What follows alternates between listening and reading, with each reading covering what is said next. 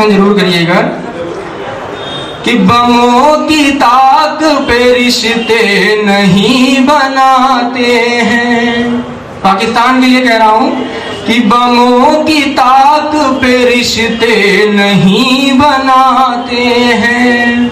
हो आग घर में तो दूजे को ना जलाते हैं। जिनसे खुद का देश नहीं समझता वो दूसरे के देश में आतंकवाद फैलाने की कोशिश करते हैं।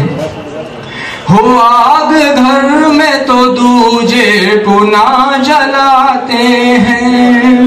और बाद बाद में परमाणु बम की, परमाणु हमले की धमकी देने वाले उस पाकिस्तान से इशारों में मैंने कुछ बात कही है।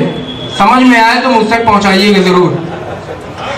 कि हो आग घर में तो दूजे को ना जलाते हैं कि बेटे कर ले तरक्की हज़ार कितनी भी। कि बेटे कर ले तरक्की हज़ार कितनी भी। पिता को आँख कभी भी नहीं दिखाते हैं। पिता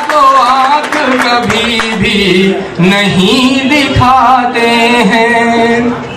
अभी हाल ही में चीन से हमने कुछ देखा है कि किस तरह से डोकलाम विवाद वगैरह की परिस्थितियाँ हमने जीती हैं, उनसे हम बाहर निकले हैं। तो उनके लिए भी कुछ पंक्तियाँ मैं निवेदित करता हूँ, कहता हूँ कि जान देश पे हम हंस के वार देते हैं।